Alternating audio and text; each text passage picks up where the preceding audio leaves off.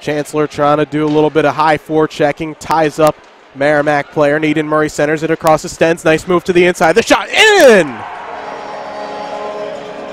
Phoebe Staenz, her fourth goal of the season, the junior from Zurich, and gets the Bulldogs on the board.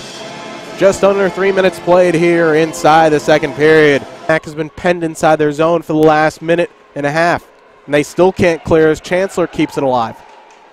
Murray has Yetman in the near side, finds her, the shot blocked away, and it's in on the deflection.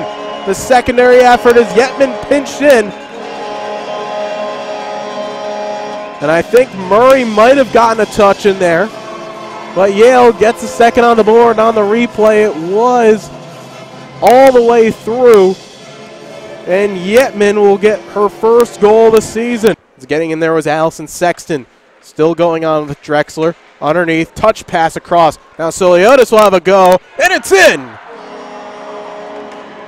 A great response by the Yale Bulldogs, giving up a goal about a minute ago, but with 14-11 left here in the third. One right back, as you see here on the replay. The centering pass just overshot a couple of players. Uh, the wrister from deep gets it to go, and the Bulldogs now lead 3 1. One and a quarter to go. The power play. Flanagan, a low driven shot. Rebound. Kept out for a moment.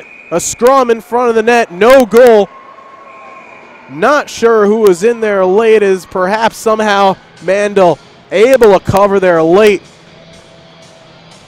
As you can see here on the replay, Flanagan with a good low driven in shot. And coming in late was Marchin. Well, she's done just about everything today. Taking shots, blocking shots, tracking back. And eventually had to save one off the line as well as Mandel able to come across. Yale will just clear with 10. And eventually it will go out of the zone, and the Bulldogs are going to move on to the championship game of the Nutmeg Classic.